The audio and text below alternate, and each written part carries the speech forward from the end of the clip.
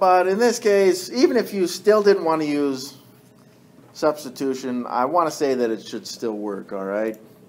So should we try it that way and see if it works? All right. All right. So I'm going to skip some steps just purely for the sake of time. 3c plus 6, we need to square that, right? So that should give us 9c squared plus um, 36c plus, uh, oh, 36. That seems odd, but it seems like it would work. All right, and then we need to distribute this 12, so I got plus 36c plus uh, 72, and then minus 28.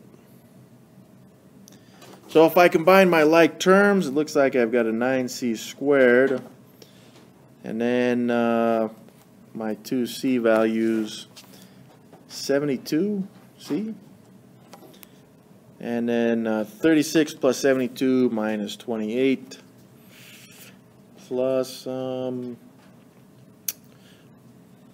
is it 80? Okay. You should check that with your calculator. All right. Well, let's multiply the A and the C values, which would be 9 times 80, which is going to give us 720. And we need two factors of 720 to add up to 72. Um, oh, geez, what the heck is that? Um, not, that's not going to work. Let's see. So 12 plus the 60 would give us the 72. So I'm going to split my 72C up into uh, 12C plus 60C. And then uh, plus that red 80 right there. And we still have that 9C squared.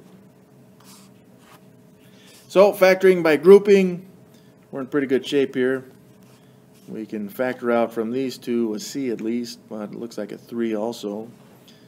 So that leaves us with 3c plus 4. And then on the second set, and eh, what the heck, 60 and 80, so 20 plus 20. And then we've got 3c plus 4. Oh, that's good. And this one's going to work out really good. We've got the 3c plus 4 that we factored out from both expressions. And then we also have the 3c plus 20. Yeah, that's good.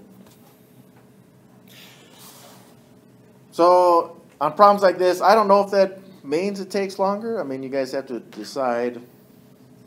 And, and that turned out pretty easy. But I think substitution will turn out pretty easy on this one. So. Let's see how that works out, okay, with substitution.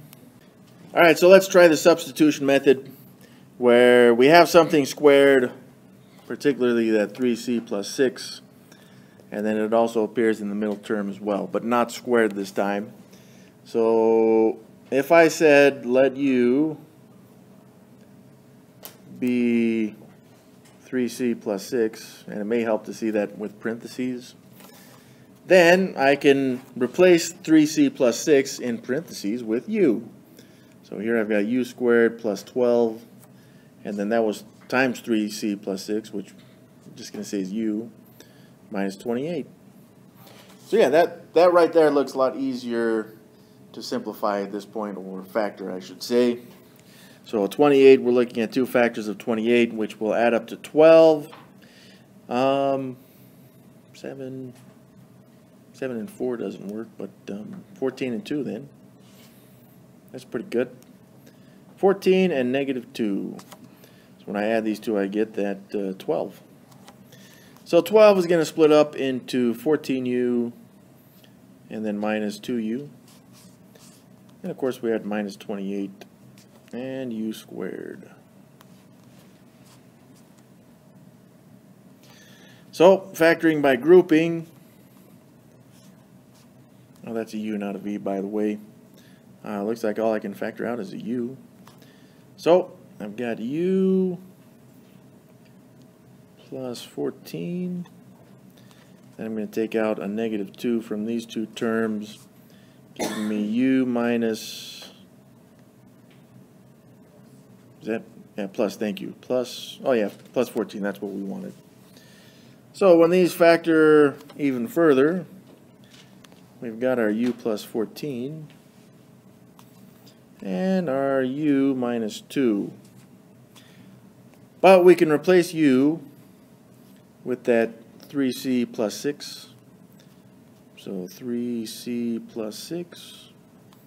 That was a plus 14, right? And here we've got 3c plus 6 minus 2. So we're just going to simplify inside both sets of parentheses. I've got 3c, 6 plus 14 is 20. And then I've got this 3c, 6 minus 2 is 4, plus 4. Which is the same thing that we had in the first place.